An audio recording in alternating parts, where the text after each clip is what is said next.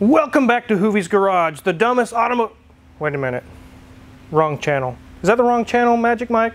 Yeah, it's the wrong channel. Wrong channel, okay. Welcome back to the Wizard Shop. There we go. Here we have Mrs. Wizard's R230 SL500. Someone actually commented they wanted to see the ball joint procedure on the ABC struts done. We're going to show that today right after this.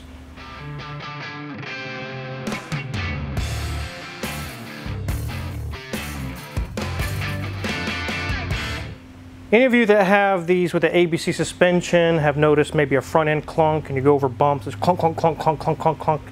There is a ball joint that connects the ABC strut to the lower control arm and that's typically the culprit. I've already done one, but I want to show you what it looks like with a loose ball joint on the passenger side and we're going to actually replace that today. But first I want to show you guys another project we're doing. We're not going to do an in-depth video on it, but this is a common issue as well and how you fix it. You like my tablecloth, Mrs. Wizard? It's great. Nice pink bubbles. So we've been driving Mrs. Wizard's SL500 around for a while and it would go into limp mode. That scared the crap out of me. Yeah, it would shift really weird. It, it felt like the transmission slipping. It wasn't. It was just like second or third gear and it was staying in that gear. I scanned the codes and found out what was the problem. It was the turbine sensor inside the transmission, which is located on the conductor plate. In order to fix this, you have to remove the transmission pan and the valve body to get the conductor plate off the valve body. And if you guys want to come over here, I'll show you what we did. So here's the valve body. It has all these little solenoids that control gear changes. It's basically what they do is control the transmission, fluid flow. So I've got the conductor plate just kind of sitting on there and all these solenoids go into each of these holes. They're in order. I don't want to mess them up. Magic Mike took this out and I don't want to throw him for a loop. But the sensors are right here in these little towers. And if you turn it, take this off and turn it upside down, there they are. We've already replaced them. So I'll place it on this socket here in a minute. On the older Mercedes transmissions, you could just buy a new conductor plate when you had issues with turbine sensors or float sensor or different things. You just buy the black plastic piece and put a new one on and you're done. But in these model years, the transmission control module is right here. That's what this little electronic box is. And it is hardwired into the conductor plate. You cannot take this off and replace it. So if you put another conductor plate on, you're going to have to program it to that vehicle. We don't want to do that. That's too much trouble. All we need to do is replace the sensor. They actually sell a kit. I got one on Amazon actually. It comes with, these are the old sensors, but it comes with two new sensors and a tool to remove them. Basically you have to scrape away the solder on these, it's flexible, this circuit board here. Once you scrape the solder away you can just fold the circuit, the laminated circuit out of the way Use this tool with a hammer and lightly tap it and it cuts the, the seal around each sensor. You pull the old ones out, you glue in two new ones with epoxy, just basically like they did at the factory. Then you resolder the pins and we'll put this back together. Magic Mike will get it all back together. This will solve the turbine sensor code with new sensors. That's all it was, is one of these sensors was bad. That's all it was. It'll cause all that trouble. This will be much cheaper than buying a whole conductor plate and having to reprogram the module. We can be back in business. Now let's get to the ball joints.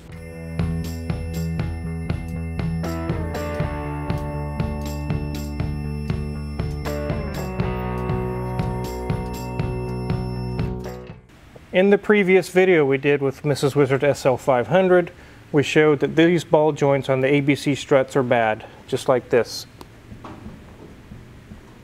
That's a lot of clunking noise when you're going down the road. It's very annoying.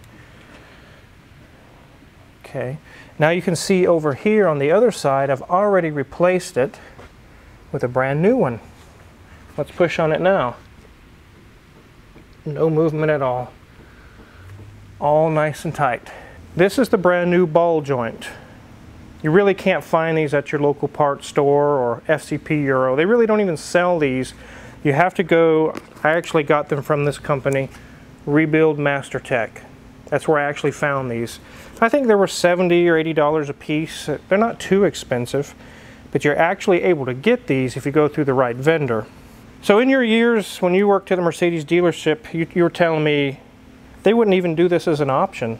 No, they wouldn't. What they'd do is they'd sell you a whole strut, and on top of that, they'd probably tell you, "Oh, you need two quarts of fluid, and we need to bleed the system." And they tried to sell you a whole service on top of it, and it would get really expensive really quick.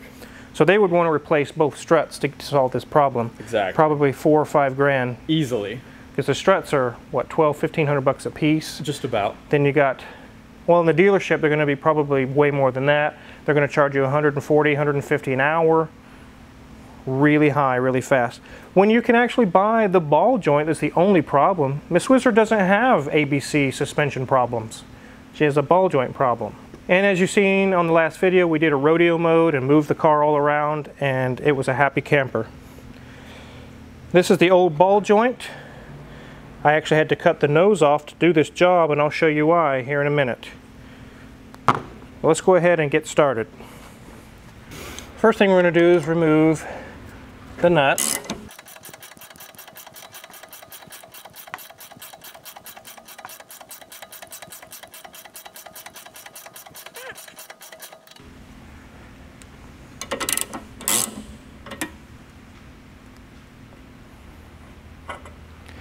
when you get the nut off, don't throw it in the trash, don't toss it. We, I actually like to reuse these because the nut that comes with the new ball joints is actually a little smaller.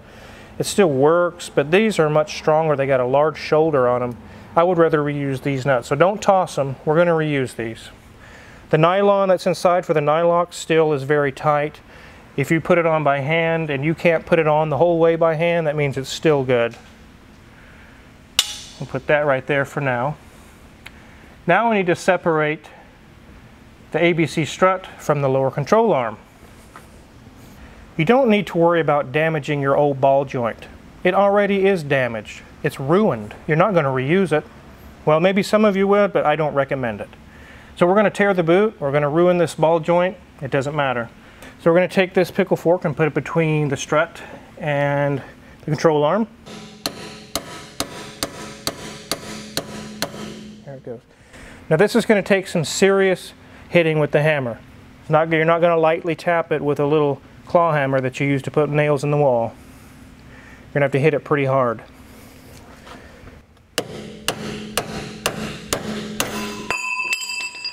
There we go. Now the strut can turn a little bit. You don't want to flip it way around. It can also move back and forth a little bit, but it's pretty, pretty tight. So what I do is just kind of let it set on the control arm there. There's no longer any spring or any kind of spring action holding the wheel. So I can pick up the whole wheel with, with my hands and move the whole thing. So based on that fact, we're not lifting the whole car. I'm going to put a jack under the tire here. The piece of wood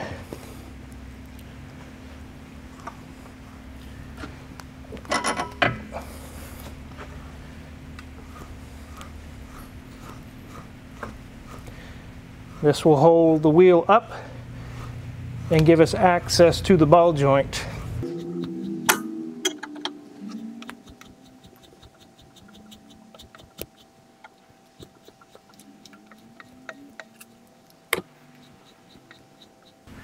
And that should do it. That gives us a nice clean access to the ball joint. You can see that thing is shot.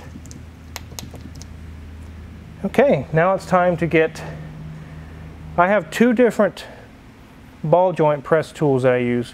One ball joint kit is just your standard universal ball joint press tool. The other one is a 220, 230, 211 ball joint service kit made just for Mercedes-Benz.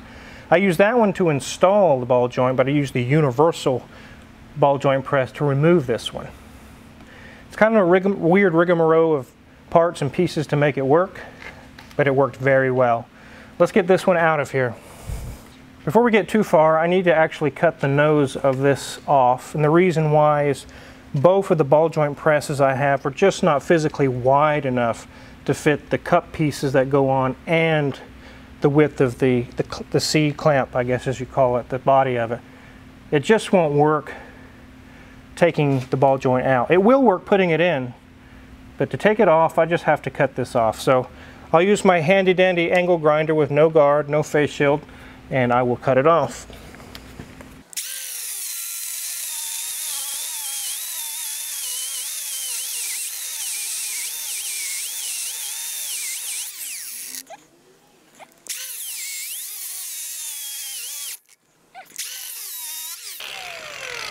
Go. So I've got the nose of it cut off, which will make our job a lot easier. We're going to use this ball joint press, some of the rings, spacers out of the kit, and to remove it I actually found a socket, just a standard impact socket that fits perfectly onto the old ball joint that can fit through the bore of the strut and push it all the way out. Works really well. So I have one of the spacers that came with the ball joint press kit and it's exactly the diameter of the strut but yet the ball joint still fits in there. There's not much room around this. There's very small edge that you're actually going to be pressing on and this fits just perfect. I did have to grind the tip you can see right there with my where I'm rubbing it to fit where it pinches right up in here in the top. Just like so. Let's go ahead and get this set up. Okay, now here's why I cut off the nose. I can fit my socket right in. See that? With the nose there, I'd be, I don't think it would work. Let me get this set right here.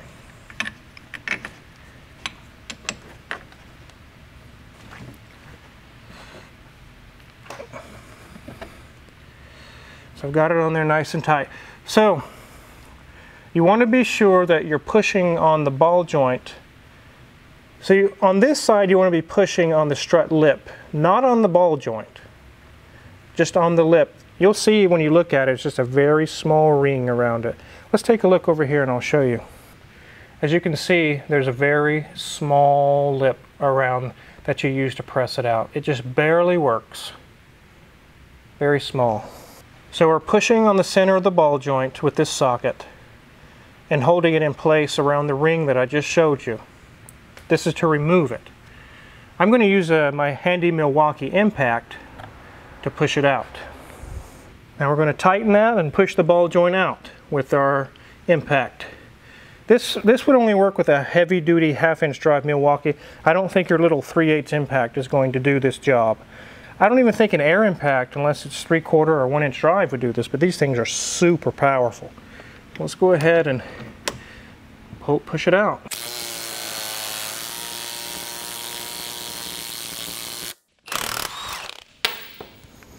Okay.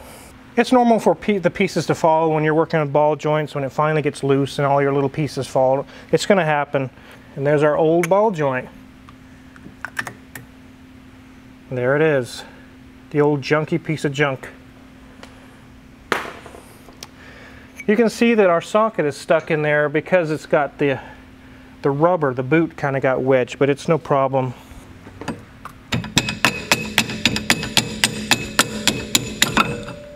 There's the boot.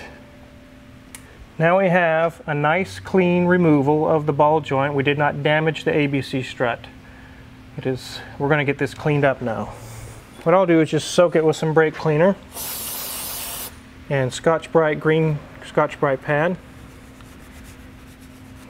Get it nice and clean in there.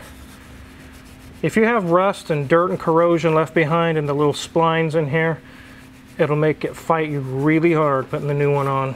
It's already hard enough to put the new one on. They go in very, very tight.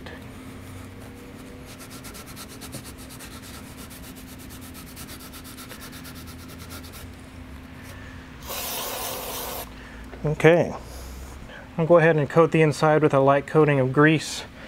That helps to fight corrosion and it helps us to put the new one on a little easier. Trust me, these go on so tight, grease is not going to make them fall out. So here's our new ball joint, and it comes with a new nut. And I mentioned that the, the old nut is a better of quality. You can see that the old one has a nice shoulder to it, and then the new nut doesn't work. I'm sure that the new one would work just fine, but I really like the idea of this strong shoulder. So I'm going to reuse the old nut. So what we're going to do is place this into position and use our Mercedes press to press it in. Let me wiggle it in there so it's tight. This one's a gold color. This is actually made for the Mercedes 211, 220, 230. It has all the special cups with a cutout made for that particular job. It works perfectly for this because this cup has a hole through it. You can see through there. It fits perfectly over the ABC strut without touching the ball joint itself. It lets the ball joint sink inside of this cup without getting bound up. So that goes there. You want it to have a through hole so that the nose of this has somewhere to go. And this side is solid and it fits perfectly on the back of the ball joint. You don't want to push in the center of it. You'll break, that's just a stamped steel, a cover. It'll, you'll break the ball joint. You want to push on the outer edge. So that's what they look like set up. Go over the nose. Oops. There we go. Make sure you got the ball joint in nice and straight so you don't wedge it or get it bound up. So now as we tighten this down, I can put my finger and touch the nose of the ball joint. That's what you want. Okay, like I said, you can slightly turn these. Just to, you don't want to turn it too much. But that way I can get my impact on that end. So we're going to drive this thing in now. Uh, when I put the other one in, it went in extremely tight. I would have to go a certain distance and let it sit for a minute and kind of ease up. Go a little bit further and then go a little bit further and it worked great. But they go in really tight, which is what you want. You don't want it loose in there. Here we go.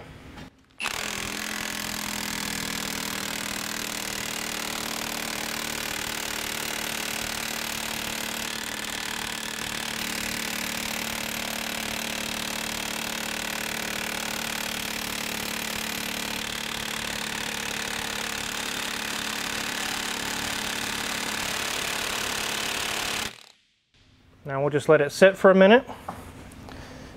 Let it ease up. We'll go at it again.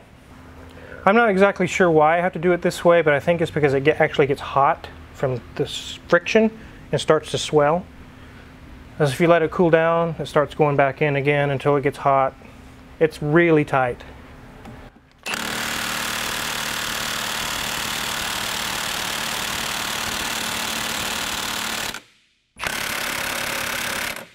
There we go. And get it off of here.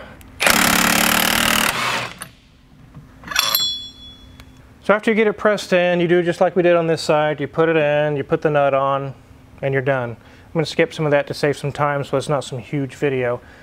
But you can press out the old ball joints and put new ones in, and you put the nut on and you're back in business. So we got those replaced, no more clunking on the front end. That'll take care of that, and it didn't take a whole lot of money.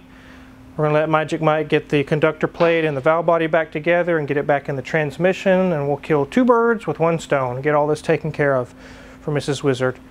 You can check my Amazon affiliates link in the description below. It'll have all these tools that I have just used here listed for sale.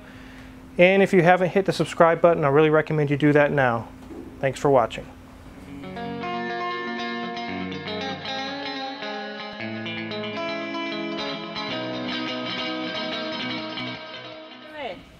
So what good does this the pink bubble wrap do? That just keeps dirt from getting into the valve body. It's a nice clean surface. Oh, nothing special. No, it's nothing. I just had that laying around. Oh, it's pretty. Yeah.